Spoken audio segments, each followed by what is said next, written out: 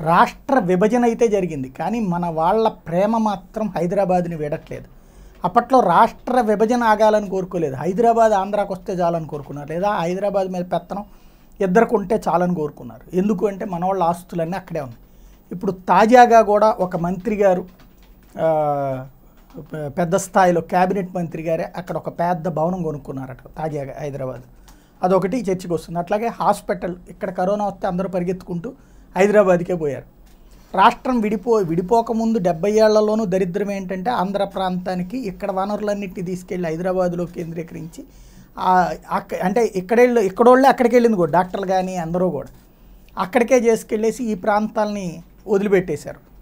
ఇప్పటికి కూడా అక్కడే ప్రేమ ఉంది.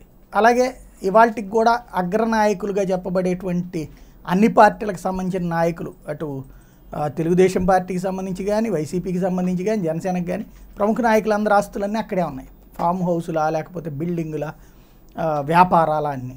ఇక్కడ అసలు కనీసం ఇక్కడ ట్యాక్స్ కూడా కట్టరు. అక్కడే ట్యాక్స్ కడతారు. తెలంగాణ ప్రభుత్వానికి ట్యాక్స్ కడతారు. ఆంధ్ర పాలకులు వీళ్ళందరూ ఆంధ్రాకి పాలకులు లేదా పాలకులు కావాలని కోరుకునేటువంటి వాళ్ళు.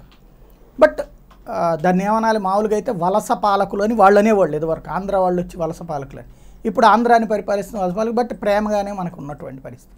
ఇవాళకి కూడా భారతీయ సిమెంట్స్ ఆంధ్రాకి దారు సాక్షికి సంబంధించిన హెడ్ క్వార్టర్ ఆంధ్రాకి దారు హెరిటేజు ఆంధ్రాకి దారు ఇట్లాగా సినీ రంగము అక్కడదక్కడే ఉండిపోతుంది. ఇక్కడ మాత్రం ఇక్కడ ఉపన్యాసాలు నడుస్తుంటే ఇక్కడ ఆవేశక ఆవేశాలు నడుస్తుంటాయి మనం కూడా ఇక్కడికిక్కడ తిట్టుకుంటుంటాం కానీ మనోళ్ళు అక్కడికి వెళ్ళి పన్నులు కడుతున్నారు మన రాష్ట్రానికి కాకుండా అని అడగలేం. ఇది ఒక విచిత్రమైనటువంటి పరిస్థితి. ఇంకా ఇంకా మన వాళ్ళు అక్కడే ఆస్తులు కొంటున్నారు. ఇక్కడ కొనడానికి భయం. ఎందుకంటే వీళ్ళకి వీళ్ళే ఒకళ్ళనొకళ్ళు నాశనం చేసుకుంటుంటారు. ఒకళ్ళని చెడగొట్టడానికి ఇంకోళ్ళు చూసుకుంటారు. అక్కడ సేఫ్ వీళ్ళకి. వీళ్ళకి బెంగళూరులో ఉంటాయి హైదరాబాదులో ఉంటాయి అవసరమైతే ఒరిస్సాలోనూ పెడతారు చెన్నైలో కూడా కొనుక్కుంటారు. ఇక్కడ కొనరు. ఎందుకంటే వీళ్ళే అవతల వాళ్ళని నాశనం చేస్తారు. అవతల వాళ్ళు పవర్లోకి వచ్చినప్పుడు వీళ్ళని నాశనం చేస్తారు వీళ్ళందరూ కలిసి జనాన్ని మాత్రం నాశనం చేస్తారు బట్ వీళ్ళే మనకి నాయకులు. బట్ అదే ఆంధ్ర అదృష్టం అనుకుంటా.